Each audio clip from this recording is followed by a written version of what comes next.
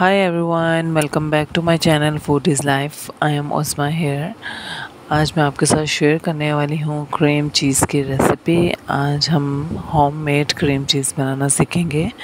Start करते हैं recipe को. उसके लिए सबसे पहले यहाँ पर मैंने एक किलो दही लिया है जिसको हमने एक बर्तन में मलमल के कपड़े के अंदर इस तरीके से डाल देंगे और ऊपर से जो है वो हम गिरा लगा लेंगे। इस तरीके से कि जैसे ये लटकना चाहिए ताकि जो इसका पानी है वो नीचे से निकलता रहे।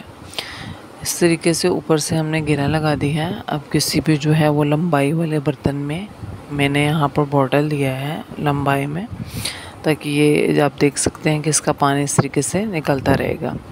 आप किसी भी लंबाई वाले जग में या इस तरीके से किसी भी जो आपके पास बॉटल हो, किसी भी चीज़ में इस तरीके से लटका देंगे। ऊपर जो है वो यहाँ स्पून या लकड़ी की मदद से यहाँ पर इस तरीके से इसको लटका के इसके ऊपर रख देंगे ताकि लटकता रहे और इसका जो एक्स्ट्रा पानी है वो दही का निकलता रहे। चलें जी, ये डन हो गया और अब हम इसको तकरीबन 24 घंटे के लिए फ्रिज में रख देंगे। ठीक है? ये हमारा जो है वो पहला स्टेप होगा। यहाँ पर मैंने इसको फ्रिज में रख दिया है। अब तकरीबन 24 घंटे बाद जब मैंने इसको निकाला तो आप देख सकते हैं कि इसका तमाम एक्स्ट्रा पानी जो है वो निकल चुका है और दही की जो क्वांटिटी आप देख सकते हैं कितने से कितनी हो गई है। अब हम इसको इस पोटली में से निकाल देंगे किसी बर्तन में। यहाँ पर मैंने को जो है वो मैंने बर्तन में शिफ्ट कर दिया है अच्छे तरीके से साफ़ करके। अब हम इसमें हाफ़ टी स्पून जो है वो सॉल्ट ऐड करेंगे।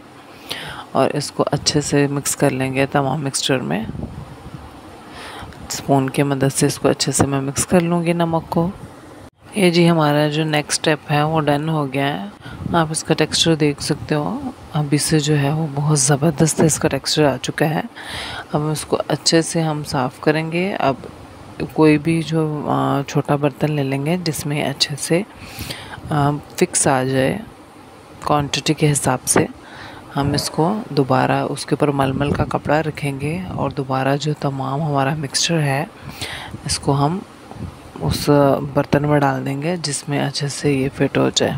क्योंकि अब इसकी क्वांटिटी बहुत थोड़ी हो गई थी तो ये छोटी बाउल में ही आ जाएगा। तो मैंने उसको इसमें शिफ्ट कर दिया है और ऊपर से अगेन हम जो है वो कवर कर देंगे कपड़े को। फिर जी हम इसी के बाउल के साइज़ का जो है वो मैंने यहाँ पर गत्ता काट लिया था, उसको इसके ऊपर रखेंगे कि इसके अंदर जो वो मज़ीद जो एक्स्ट्रा पानी होगा, वो भी इसके अंदर एब्जॉर्व हो जाएगा और उसके ऊपर कोई भी वेट रख देंगे जिससे अच्छे से जो है वो प्रेस हो जाए। और अगेन हम इसको 48 आवर्स के लिए फ्रिज में रख देंगे। यहाँ पर जी 48 आवर्स हो चुके हैं, तकरीबन दो दिन और हम इसको निकाल लेंगे। देन हम इसको, इसका एक गत्ता भी हटा देंगे और इसको कपड़े से निकाल लेंगे एंड डिश आउट कर लेंगे। ये जी हमारी क्रीम चीज़ बनकर जो है वो रेडी हो चुकी है।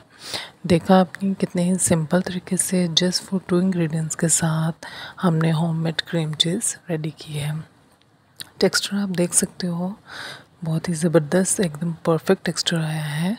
अब आप इसको अपने सैंडविचेस में ब्रेड के साथ केक्स में इसको यूज़ कर सकते हो। आई होप आपको ये होममेड जो क्रीम चीज़ की रेसिपी है पसंद आई होगी। If you like it then like and share and don't forget subscribe my channel मैं मिलती हूँ आपसे नेक्स्ट वीडियो में। एक और रेसिपी के साथ। दुआओं में याद रखिएगा। तब तक के लिए अल्लाह हाफिज़।